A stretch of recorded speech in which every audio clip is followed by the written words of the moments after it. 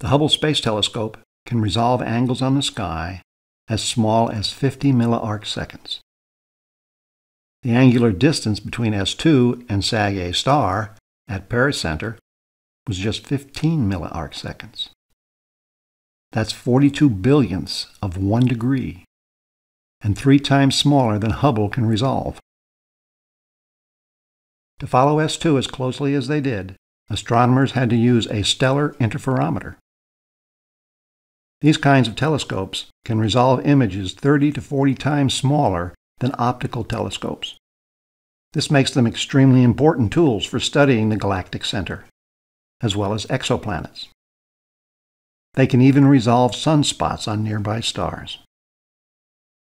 So to understand how we know how close S2 got to Sag A star, we need to understand how these stellar interferometer telescopes work.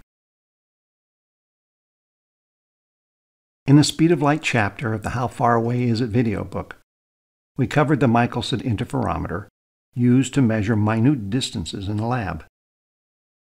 Interferometers can measure distances on the order of a few nanometers.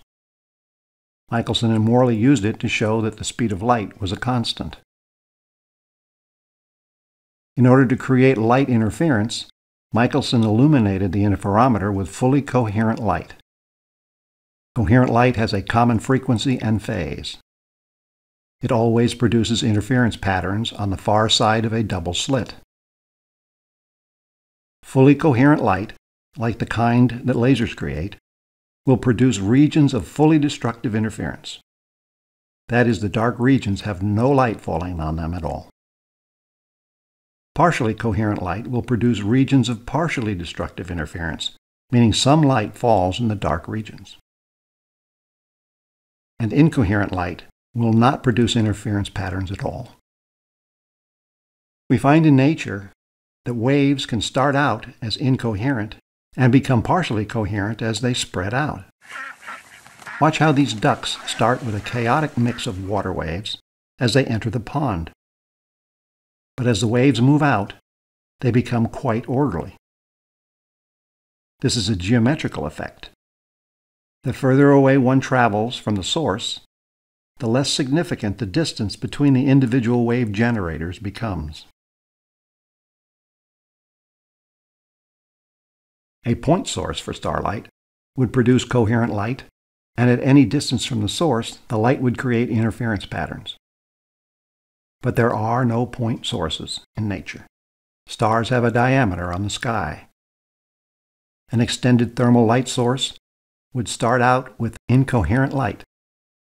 But as the light moves away from the source, its coherence increases, just like with the ducks on the pond.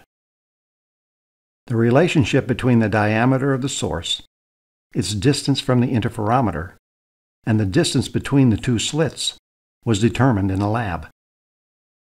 Michelson used this property to measure the diameter of Betelgeuse in 1921. It is fascinating to note that incoherent light waves, created by excited atoms in stars 20 billion kilometers apart, can travel for 26,000 years and still carry the remnants of that starting condition. A large enough stellar interferometer can use the visibility dimming of the interference pattern created by the light to detect the original star separation. See how the amount the image fades is greater the further apart the two stars are. The math involved was developed independently by Dutch physicist P. H. van Cittert in 1934 and F. Zernike in 1939. It's known as the van Cittert-Zernike theorem. It has taken 80 years to extrapolate the basic physics of interferometry into the working instruments we have today. There are currently over 20 stellar interferometers in operation around the globe. It was the four 8.2 meter ESO VLT optical telescopes with an attached four-way interferometer called Gravity that covered the S2 pericenter passage around Sag A star.